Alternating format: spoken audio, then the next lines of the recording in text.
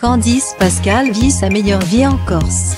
Alors que le soleil joue encore à cache-cache dans certaines régions de France, la danseuse profite des sur une bonne nouvelle. C'est ainsi qu'a démarré la semaine pour les inconditionnels de danse avec les stars. Privés d'une partie de leur liberté en raison de la pandémie, ils avaient aussi vu leur programme préféré disparaître de la grille de rentrée de TF1. Alors que la première chaîne travaillait sur sa onzième saison, elle avait dû mettre le projet entre parenthèses en attendant de meilleures conditions de la part du gouvernement français, qui essaie petit à petit d'offrir un retour à la vie normale aux citoyens. La lumière au bout du tunnel ne semble plus très loin.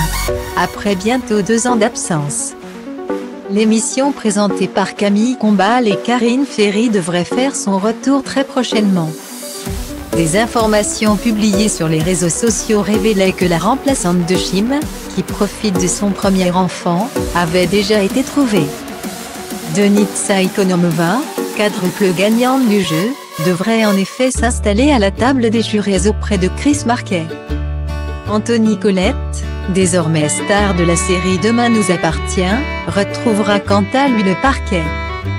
Certainement comme Candice Pascal, prête à remporter un deuxième trophée, avant de retrouver les salles d'entraînement. La jolie brune s'est envolée vers la Corse pour prendre un peu de repos. Au bord d'une piscine à Calvi, elle a étendu sa serviette de bain sur un transat afin de profiter au mieux du soleil.